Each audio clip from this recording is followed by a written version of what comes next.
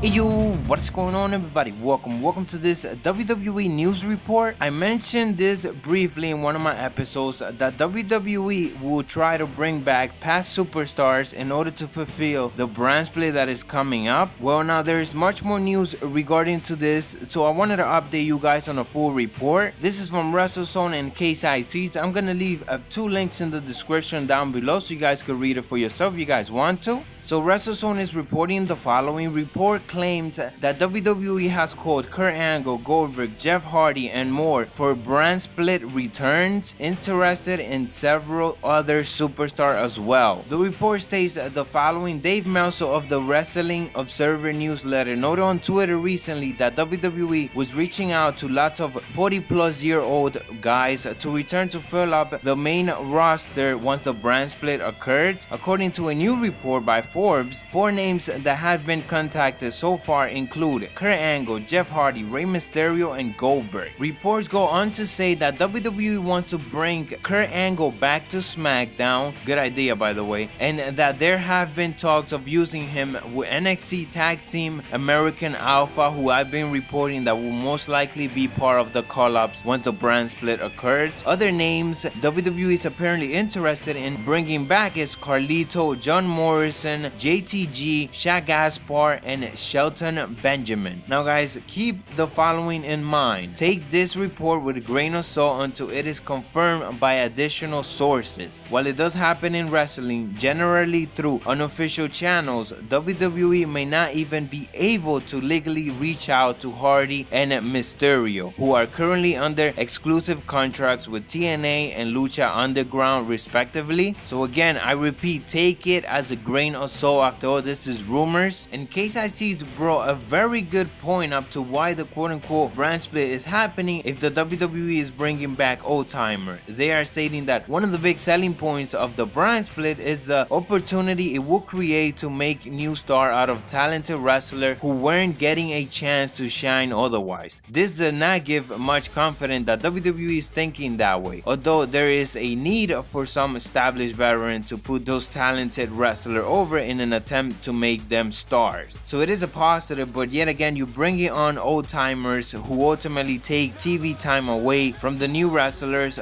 But regardless, I do think this is a smart move by the WWE. Nowadays, it's very hard for them to even build a character. So having those established superstar going against the new breed might be a good idea for them to build up new characters. And man, I've been wanting Kurt Angle back since he left. So bring it on. And Shelton Benjamin, Jesus Christ, man. Crazy talent right there. Trust me, if JR says it, it is true. But anyways, guys, that is what I have for this news report. If you guys want to keep updated on all WWE news and rumors, subscribe to my channel so you don't miss none of that. I also do WWE 2K17 coverage, And go Lock, and F5 the like if you guys found this informative. And join us. We on the road to the top. Mucho tiao.